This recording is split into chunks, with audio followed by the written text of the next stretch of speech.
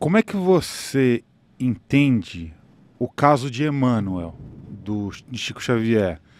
Porque a gente já recebeu né, o Geraldinho aqui algumas vezes, inclusive o, o, o próprio Geraldinho está numa busca para en encontrar este, este mentor reencarnado que nasceu no interior de São Paulo, eu acho, não é isso? É, Segundo consta, é isso. Segundo consta não é é? isso. Co- como é que você entende esse, esse plot twist desse caso?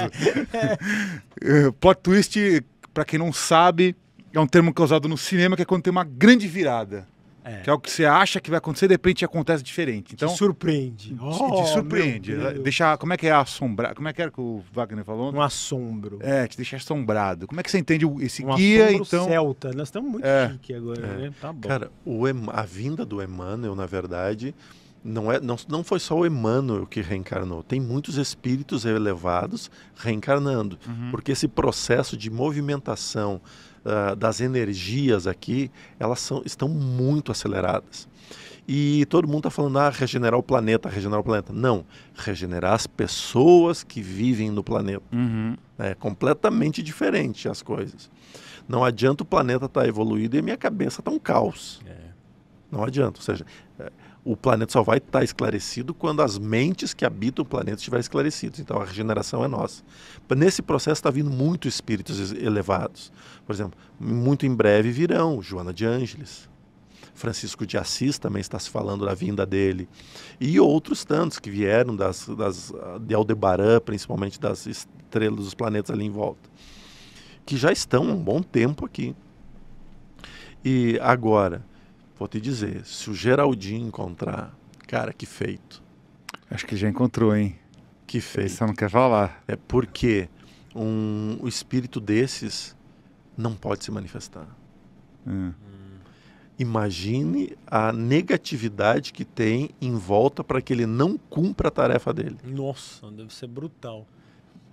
E se nós cair em cima dele com toda essa mídia, com todos esse, os holofotes que nós temos hoje, a gente arrebenta uma reencarnação. Então a espiritualidade não vai permitir que isso ocorra. Mas ele não poderia dar uma entrevista no Paranormal? Mas e, poderia, mas por que, que ele teria que vir como Emmanuel? Não, Ele é uma sim. nova Ele veio personalidade. disfarçado. Não É. precisa nem falar, mas a gente sentiria, né? Eu acredito. E vou, e vou dizer, mas talvez nem ele saiba ainda que ele foi Emmanuel. Sim, provável. Ali eu concordo. Aí eu acho que nem vai saber. É. Porque é, um- é um, é fardo muito grande. É, Você- Ah, pro- é. Provavelmente ele vai ter uns 20 e poucos anos, provavelmente. é, em 2002, né, que Chico desencarnou. Não foi lá- isso, né? 2002, Copa do Mundo. É, 2002. 2002. Então, bote quatro anos antes. Ah, tá. É, 20 e poucos ali. Então, é. E ele viria Cara, na área da educação, né? Ele viria para É, na a, área a- da a- a educação. história é essa. Então, pelo menos é isso que a história conta. Então, a gente tem que observar as mudanças. Quem vai fazer, quem está começando a fazer grandes movimentações na área de educação. Talvez ali seja É. um caminho para encontrá-lo. Um dos entrevistados que veio aqui, que foi o Guilherme Romano, saiu reportagem até no Globo, falando que ele seria a reencarnação Ah, do Emmanuel. E ele negava isso, assim, fortemente. Inclusive, isso trouxe problemas para ele. Porque é, é isso que acontece. O peso de você ser acaba com a tua vida. Se você é uma pessoa normal e você fala, não, a sua missão é não sei o que, pode destruir a vida de Total, alguém. total. Porque aí, e o teu livre-arbítrio? Acabou. Acabou. Você tem uma missão já. É, E uma missão que tu não lembra 100%. Nada. E aí, o que, que eu vou fazer? Então, É uma batata É na uma mão da batata na pessoa. mão. É bem quente, É. Há, há relatos de alguns espíritos dizendo que, por exemplo, por que, que Chico sofreu muito na infância? Porque tinha muita luz dentro dele. É. E a dor apagava a luz. Então, quando ele sofria, isso não é justificando as agressões, de maneira, os garfos, as coisas. Não, não, não justifica, nada justifica isso.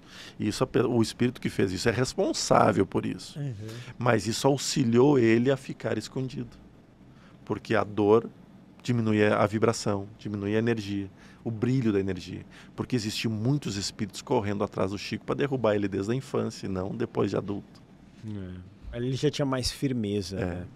Porque a criança Não tem, é, um, né? é um eu, eu vi pelo filme lá, né? Que, Que mostra filme, né, bem, cara? é, Que filme. um filme bem interessante. Eu vou a Uberaba agora, É, eu estive já em Pedro Leopoldo, Uhum. né? não pude conhecer o Geraldinho, porque ele, o trabalho começava às 5 horas da tarde do domingo, lá no Evangelho que eles fazem, na casa em Pedro Leopoldo.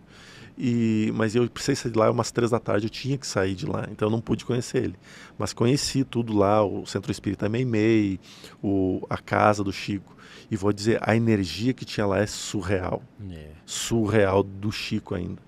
E agora eu vou a Uberaba, dia 25 eu vou a Uberaba e depois eu vou a Uberlândia no, pro céu, né? Congresso Espírita de Uberlândia. Né? Pro- e aí eu quero vivenciar também essa outra energia, que é a segunda metade da vida do Chico, né?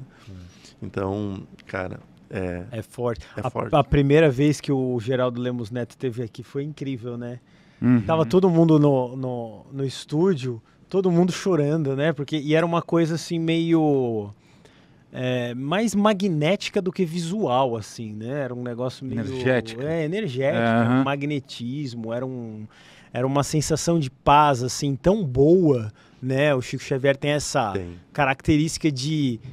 Por que, que eu tô aqui assim? E ele parece que ele esclarece isso de É. uma forma E tão ele- nítida. Claro, e ele traz todos eles lá, onde, por exemplo, em Pedro Leopoldo, com todo mundo que conversava, a, eles tinham a egrégora do Chico. É. A energia da egrégora estava com eles. Todos mansos, todos falando com amor Calma, e não com é. deslumbre. Sim. Né? Porque tem gente que fala deslumbrado. Não, as pessoas lá falavam com amor dos casos do Chico, da- das vivências, do que ele fazia. Então é uma coisa linda demais, assim. Era magnífico, foi muito bom.